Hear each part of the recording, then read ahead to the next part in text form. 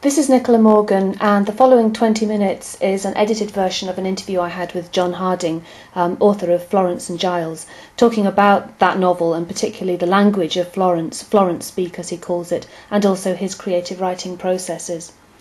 Just to set the scene for those of you who don't know Florence and Giles, and I really, really do hope that you all go away and read it, it's a book I absolutely love. Um, I thought I'd read you the back of the book, the blurb. 1891.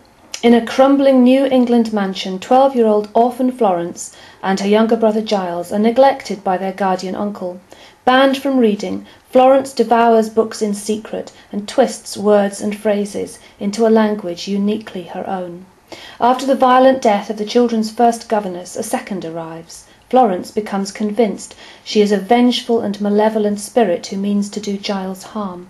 Against a powerful enemy, with no adult to turn to for help, Florence will need all her intelligence and ingenuity to save Giles and preserve her private world. This is her chilling tale. John and I talked for about an hour, but I've just um, selected a couple of sections from the conversation, um, particularly about the Florence Speak. And just to show you what Florence Speak is like, um, to set the scene for our conversation, um, I want just to read the first paragraph of the book.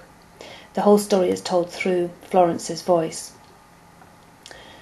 It is a curious story I have to tell, one not easily absorbed and understood, so it is fortunate I have the words for the task. If I say so myself, who probably shouldn't, for a girl my age I am very well worded, exceeding well worded, to speak plain.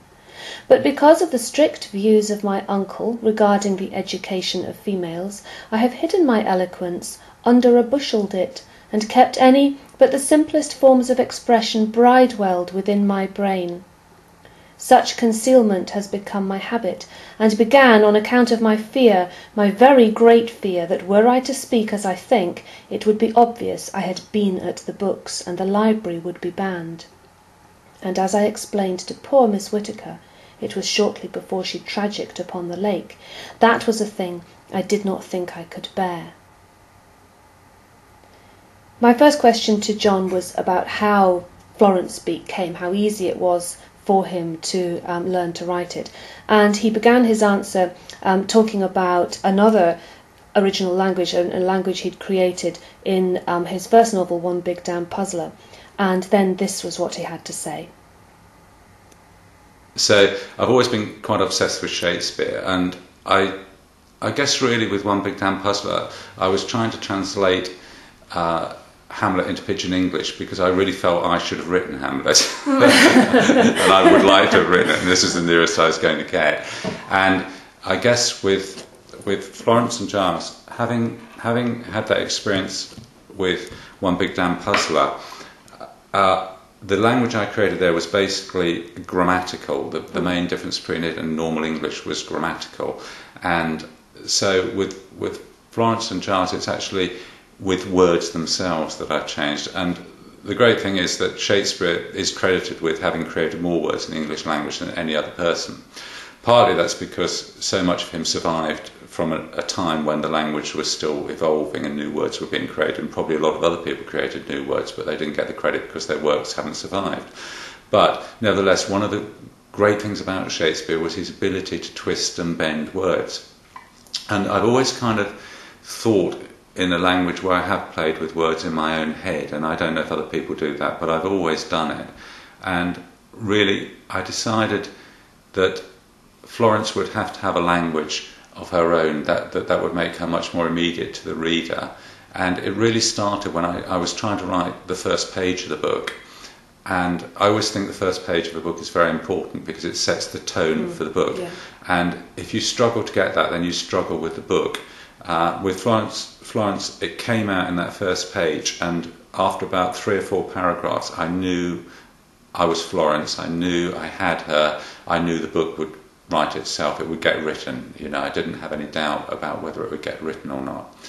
Um, I had doubts about whether anybody would read this language or like it or anything. But um, and it really started with one phrase which I remember very well, which was uh, where she talks about her thoughts being bridewelled within her brain, mm. and because a bridewell is an archaic uh, word for a prison, and it's a noun, and she's using it as a verb. And this is something that Shakespeare does all the time. He, he, and a lot of his new uses of words, which have now passed into the language, are words that were at his time only nouns that he also made into verbs and vice versa. And when I got that with, with Florence, I guess Bridewell within my brain told me lots of things about her. It told me, first of all, that she was a child who had secrets that were locked inside of her. It, it told me that she made up words. And she'd also used this archaic word, so it told me that she was at the same time very well read. And so, really, from that one phrase, um, not even the most memorable phrase of Florence speak in the whole book, um, the, the, the, language began to evolve. And then I, I grew to love it as it evolved.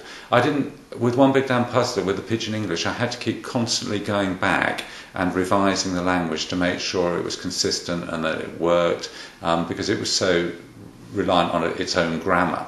With, with Florence, it, it just grew and grew and grew, and I didn't really have any difficulty with sticking to a, a, particular language. It just evolved naturally, and I found it was much easier to say I downstairs instead mm. of I went downstairs, mm. or I long corridored instead of I made my way along the long corridor. And um, she obvious. I love, I love it. I love the bit about she obvious and, and the tragic as well. Those, yes, those are my favourite ones.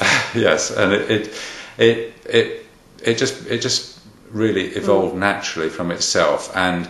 I love the, the other thing it gave me was the playfulness of it. it gave me a playful side to Florence because she's she could have been in this very serious door child in this awful situation that she found herself in, but uh, because Shakespeare uses language playfully, he uses puns and made up words playfully, and this was a this actually gave Florence this humorous, playful side, which I, I think makes her a much more rounded, appealing character, and I, I guess reflects part of my character as mm. well. What, what about your own experience of reading as a child, your own experience of, of books and well, classics as a child? Uh, this is this is one of the funny things that, that I only discovered about a year after the book had been published, um, because I th- I thought there was very little that was autobiographical in it, which just shows you how wrong you can be about thinking anything is never ever non-autobiographical. But I grew up in uh, a council house where we had about four books, and um, that that was my only contact with books uh, at home. But I went to a little village school. Uh, my mother was the school cleaner, and uh, every day my mother would arrive at three o'clock when all the other kids went home, and I would stay with her. And so what I would do there was read. So I did actually read all the books in the school long before I was old enough to read most of them in class. I'd, I'd sort of worked my way through them because I had a good couple of hours every day when I was just reading these books. And I, I did have a sense of wonder at discovering these books, and I think Florence's sense of wonder at arriving in this library eh, and finding all these books and this whole world of the imagination there and all of these stories lined up there was reflects the, the sense of wonder I had. But uh, one thing that I realised after I was just talking to some kids giving a talk at a school, and I re- remembered suddenly that um, my mother had always told me not to always be very careful to put the books back where I'd found them, and that was that was because for some reason my mother thought um, she or I would get into trouble with the teachers um, if they found out I'd been reading, because they'd probably have been delighted, but my mother was probably a bit paranoid about losing her job. So I, I was always really careful to put them back. I remember I used to, what I used to do was when I took a book off the shelf, I'd pull the one next to it out so I'd know exactly where I had to put it back. And that's reflected in what Florence does. She's very careful about not being caught because she, she realises that if she's caught reading, then she'll be banned from the library and the books will be taken away from her. So um, she's very careful about putting, and so all of that had come from somewhere deep within me, some something that I didn't even know I'd, I'd remembered, and um, I think I think uh, I had because of that I had this appreciation of the, the secret nature of reading books that it was done as a secret pleasure and a guilty pleasure, and I think that that's, that all came out in Florence really.